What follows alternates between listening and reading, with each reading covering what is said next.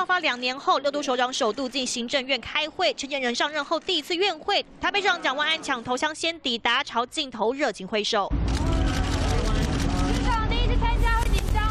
后脚抵达的卢秀燕更朝镜头亮出白色信封，原来是二零二三世界棒球经典赛邀请函，要亲自邀请陈建仁出席。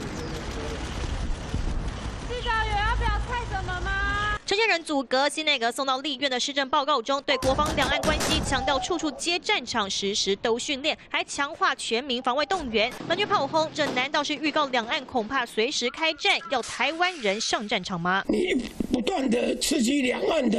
紧张关系一旦开战，台湾变成处处都是战场。台湾年轻人愿意吗？家长愿意吗？新内阁不但持续抗中，因为废核基隆填海造陆建天然气接收站，但去年六月民团透过护海公投联署，竟在选后被内政部打回票，说这跟地方自治无关，没收公投，让民众连反对的机会都没有。所谓的地方自治，其实到最后就是一场笑话。台湾根本没有地方自治可言，只要中央要推的政策，地方都没有。表达意见甚至表示反对的权利和空间吗？中华民国干脆就直接宣布为是中央集权国家好了。过去的基隆市长，如今就坐进政院当内政部长，新内阁就位，中央地方的磨合还很多。记者张敏、李选 S N 小组台北报道。